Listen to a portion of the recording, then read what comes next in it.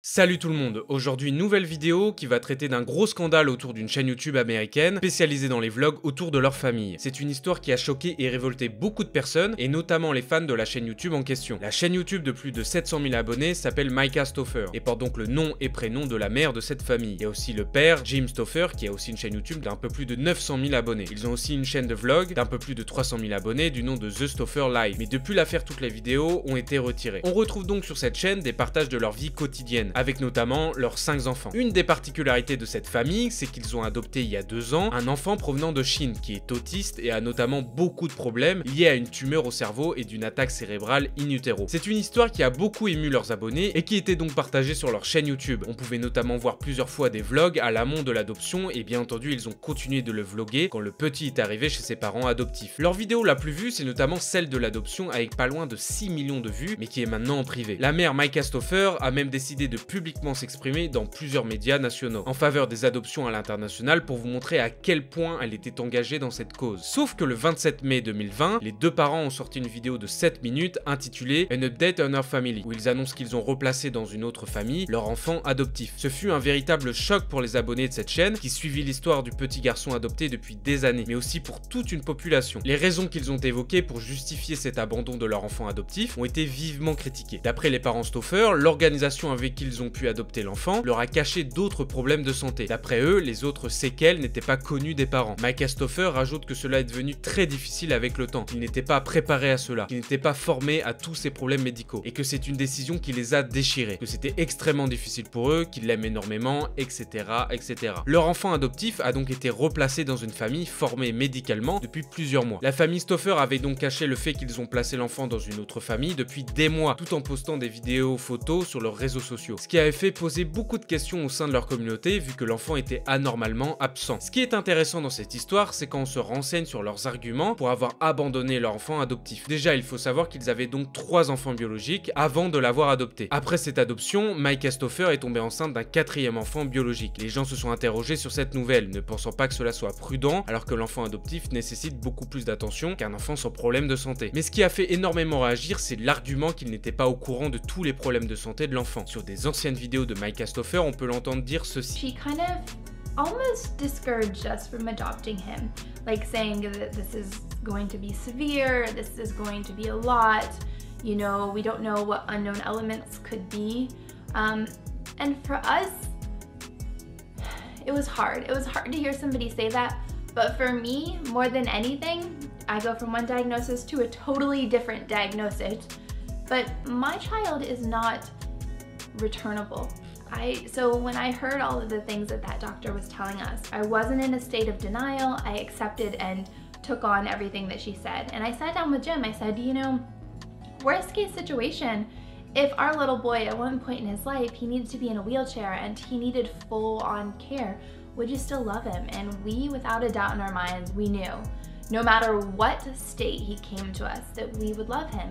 On peut donc l'entendre dire que des médecins l'ont bien prévenu sur le fait que les pathologies de l'enfant qu'ils ont finalement adopté sont très compliquées à gérer pour une famille non préparée à cela. Elle dit même qu'ils l'ont presque découragé à l'adopter, pour dire à quel point les professionnels de santé savaient que ce n'était pas une maladie facile à gérer au quotidien. Mais elle a insisté en disant que son enfant adopté n'est absolument pas retournable, ce qui est très ironique à entendre maintenant. Elle ment donc clairement quand elle dit qu'il n'était pas au courant de tous ses problèmes de santé. Dans la vidéo où ils annoncent le replacement du petit, ils insistent sur le fait que cela a été horrible eux, qu'elle ne se sent pas comme une bonne mère, que les commentaires qui vont dans ce sens lui brisent le cœur, etc., etc. Ce qui est plutôt intéressant à regarder, c'est comment cette vidéo est tournée dans la forme, mais aussi le fond pour mieux faire passer le message. Déjà, cela peut paraître anodin, mais pour cette vidéo, ils sont tous les deux habillés en blanc. La mère porte des lunettes, ce qui est plutôt rare dans ces vidéos. Elle paraît moins coiffée et maquillée que d'habitude. Et tout ça me laisse penser qu'ils ont voulu appuyer sur le fait que c'est quelque chose de dramatique pour eux. Le lit tout blanc, le visage froid et triste, les t-shirts blancs, tout ça c'est de la communication non verbale au final. Ce n'est clairement pas fait au hasard vu le temps qu'ils ont mis pour en parler. Quand la vidéo est sortie, l'enfant était placé depuis des mois. Ça a pour but d'installer une ambiance très sérieuse, très triste, en laissant tous les sanglots dans le montage de la vidéo. Et c'est quelque chose qu'on retrouve dans quasiment toutes les vidéos pour répondre à un bad buzz. Je vous invite à vous concentrer sur la forme de la vidéo la prochaine fois que vous regarderez une vidéo de ce genre. C'est très intéressant. Ensuite, au niveau du fond de la vidéo, on peut remarquer que la mère oriente beaucoup de ses phrases pour chercher la compassion des gens, comme s'ils voulaient recentrer sur leur malheur alors que cela reste leur décision et que ce qui importe au final, c'est que l'enfant soit dans une famille stable et qu'il soit heureux. Ce qui a fait aussi beaucoup réagir, c'est le fait qu'une grosse partie de sa réputation, de sa notoriété, s'est jouée sur l'adoption en 2017. On peut notamment voir que sa chaîne a bien décollé vers fin 2017 au moment de l'adoption. Sa vidéo la plus vue, avec quasiment 6 millions de vues, qui est d'ailleurs en privé, c'est celle de l'adoption. Elle a construit sa chaîne YouTube en partie grâce à ça, notamment via de nombreux partenariats, et deux ans après l'adoption, elle le place dans une autre famille. Ça passe mal pour les gens, et c'est à mon sens compréhensible. Ce qui est aussi mal passé, c'est l'épisode de la grossesse de Mike Astoffer pour son cinquième enfant et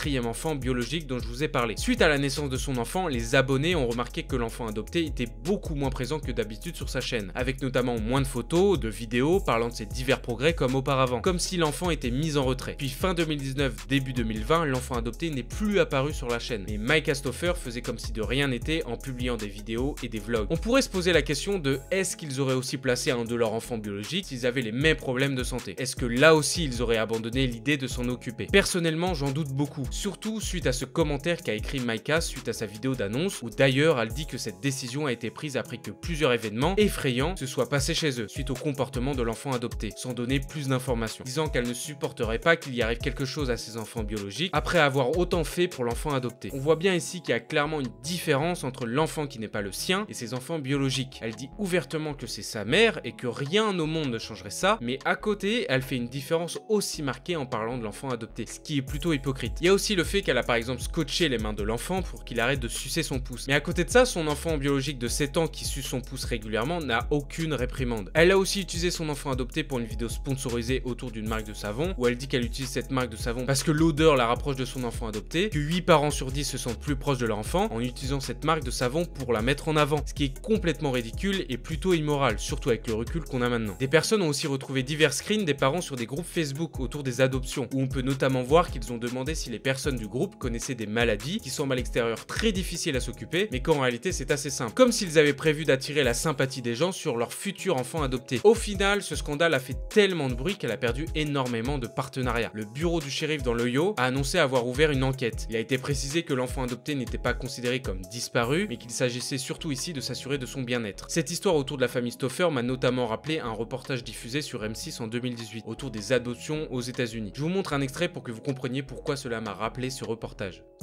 Michael ressemble à tous les garçons de son âge. À un détail près, il a été adopté par les McBride il y a maintenant 6 ans. Mais un événement va changer sa vie. Sa mère attend un enfant pour la troisième fois. A priori une bonne nouvelle. Sauf que Michael ne connaîtra jamais sa petite sœur. Car un drame d'une rare intensité est en train de se jouer. Il est l'enfant de trop. Aussi impensable que cela puisse paraître, Jennifer et Paul ont décidé de se séparer de lui. Ils ne veulent plus être ses parents. Une pratique impensable en France. Michael est déboussolé. Il prépare son départ. Il vit ses dernières heures dans la maison. Mon père est mort avant ma naissance. Et ma mère, elle est tombée dans la drogue. Et puis ma grand-mère m'a récupéré pour me protéger. Mais malheureusement, mon grand-père était dealer. Donc assez rapidement, ma grand-mère est aussi tombée dans la drogue. À la maison, les seules personnes qui ne se droguaient pas étaient moi et mon oncle. Mais voilà, l'oncle en question n'avait que 10 ans. Ce scandale de la famille Stoffer, c'est une réalité complètement horrible aux États-Unis et un vrai problème de société où le rehoming, la réadoption, le fait de rendre l'enfant adopté touche un enfant adopté sur 5. En France, il y a un réel suivi lors de l'adoption. Par exemple, le service social aux États-Unis ne vérifie pas les antécédents des parents. En France, c'est bien plus encadré et l'enfant adopté est considéré par la loi comme un enfant biologique, sans aucune différence. Alors qu'aux États-Unis, les parents adoptifs peuvent ne plus vouloir de l'enfant et doivent tout simplement poster une annonce pour lui retrouver une autre famille. Il y a même des défilés d'enfants pouvant être adoptés, ce qui ressemble à un concours de mini-miss. Alina est une adorable jeune fille qui est à la recherche d'une famille qui la gardera pour toujours. Elle se décrit comme quelqu'un d'honnête et qui aime rendre service. Elle aime également le dessin, l'art et la décoration. L'événement est déroutant, bouleversant. Chaque année, une association organise un défilé d'enfants dans le but de les faire adopter. C'est difficile à croire, mais ces parents potentiels sont là pour jauger, trier, choisir parmi 16 candidats à l'adoption. Oh Mathilda, tu as l'air si mignonne. Je crois que j'ai trouvé ma fille. Ceux qui défilent en sont parfois à leur troisième ou quatrième famille, prêts à tout pour avoir le droit à une autre chance. Les enfants deviennent des objets et sont moins bien considérés que des animaux adoptables. Ce scandale a eu au moins l'effet positif de mettre en avant les problèmes liés à l'adoption aux États-Unis, qui n'est pas assez encadré. Je suis curieux de savoir votre avis sur ce scandale. Est-ce que vous comprenez la décision de la famille d'abandonner leur enfant adoptif pour une autre famille qui est plus compétente médicalement, ou au contraire vous trouvez ça intolérable? Je vous laisse débattre en commentaire, merci d'avoir suivi la vidéo, on se retrouve bientôt, n'oubliez pas de me suivre sur mon Instagram, le roi des rats YT, surtout si vous voulez voir des chats, passez une bonne journée, ciao tout le monde.